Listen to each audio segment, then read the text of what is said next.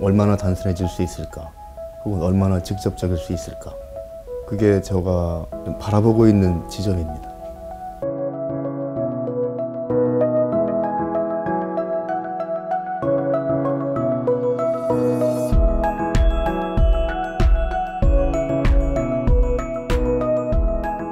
저는 음, 처음엔 디자이너였어요.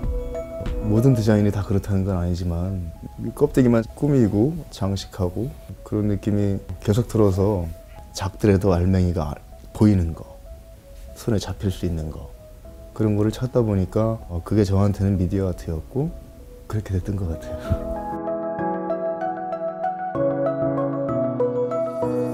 맨 처음에 내가 생각하는 멋있는 거는 내가 모르는 엄청난 이런 뭐 어, 비밀이 이렇게 있어서 음, 이제 그런 게 멋있는 건 줄 알았다고요. 근데 오르골이라고 하지 한국에서는 그거를 이제 돌렸을 때 그 조그만 장난감은 뭐 하나도 숨기는 게 없는 거예요.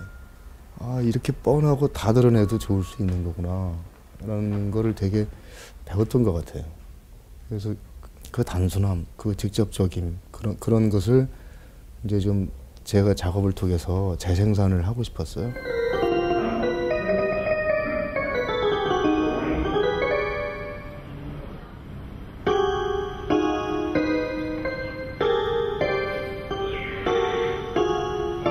뮤직박스 프로젝트는 이제 연작인데 한 다섯 개 정도? 그 맨 처음에 시작했던 아주 작은 웹 프로젝트에서부터 퍼포먼스 작업 그리고 이제 세 번째 했던 게 뮤직박스라고 해서 이제 나무로 이렇게 큰 원통에 LED들을 이렇게 많이 설치돼 있어서 하는 그런 작업. 그 네 번째 거가 이제 소니 칼럼이라고 하는 원통이 크게 높이 기둥처럼 서 있고 사람이 만지면 뮤직 노- 뮤직 이제 그게 패턴을 그리고 그거를 크랭크하면은 이제 거기서 다시 이제 소리가 리플레이 되고 Light Bead Curtain이라는 작업도 있었죠.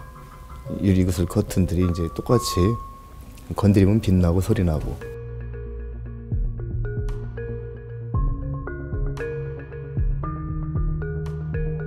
이건 정말 장난스럽게 그냥 재미 삼아서 만들어서 그냥 왜 그런 거 있잖아요. 부처는 완벽한 사람이잖아요.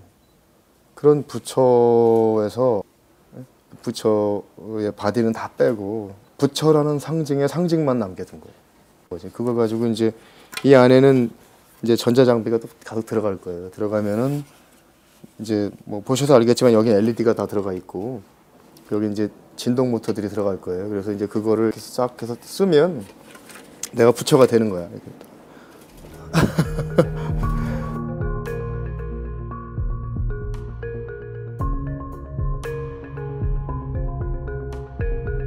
미디어 아티스트들은 기술이다 예술이다를 딱히 가리지 않는 사람로부터 출발했다라고 저는 봐요.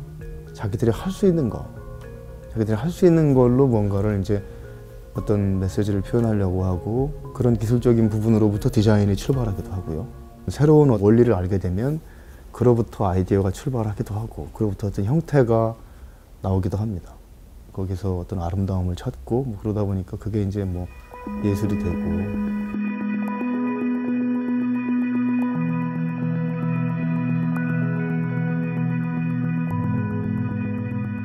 중요한 게 갤러리에 있는 작품과 그걸 보는 사람이 그날 그 자리에서 그 시간에 딱 만난다는 거거든요. 그게 저한테는 가장 중요한 거고 그때 승부가 나도 나는 거고 이야기가 전달이 돼도 되, 되는 거지 그때 이야기가 안 됐는데 뭐 알고 보니 그 작업이 그랬대더라라는 그 비하인드 스토리를 갖고 뭐 저는 그런 타입은 아닌 것 같아요. 그래서 기술도 조금 더 단순해지고 좀 더 직접적으로 이제 이해될 수 있게 그래서 그야말로 나중엔 진짜 뻔해지게 그렇게 네, 그렇게 해보고 싶어요.